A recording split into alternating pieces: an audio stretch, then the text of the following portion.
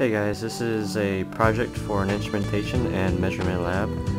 Um, the criteria for this project is that it must contain sensors, a motor, interact with the user, and it must be standalone. For the motors, we have four motors. Here you can see um, two bipolar stepper motors. We have this one right here and then this one right here. Um, one of the uh, stepper motors goes along the y-axis. The other one goes along the x-axis.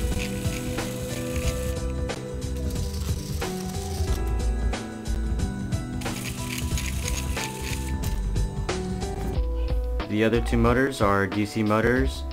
This one that you see right here, that controls the pulley uh, with a string, which that string is uh, lowers the claw. You see right here in this demonstration.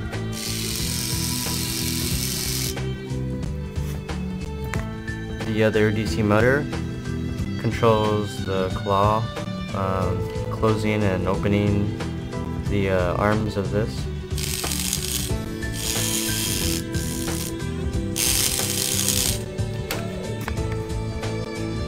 Here is uh, one sensor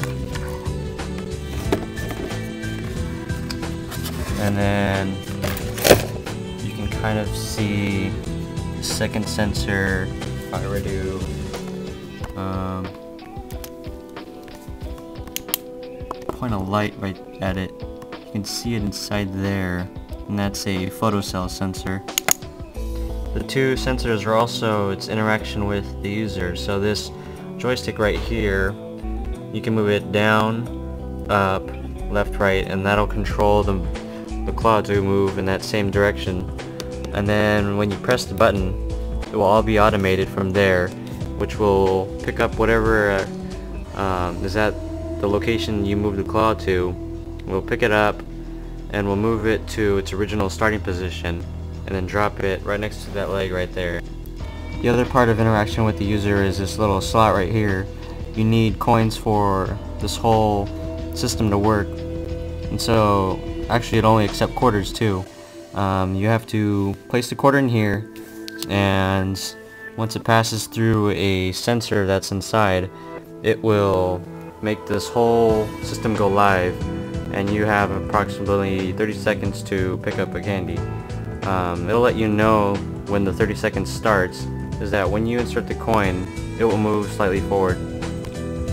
Here's a demonstration on how the uh, coin sorter works for how the system um, activates. We'll start with the smallest coin, a dime. As you can see it was rejected. Now we'll try a penny. Let's see that was rejected also. Here is a nickel, which is slightly smaller than a uh, quarter, which you can probably see it's probably about one 1.5 millimeters um, smaller than a quarter. So I'll put that in. See that was rejected. And now we'll place in a quarter. And as you can see here you can hear it um, it was activated. Now you can move the claw as so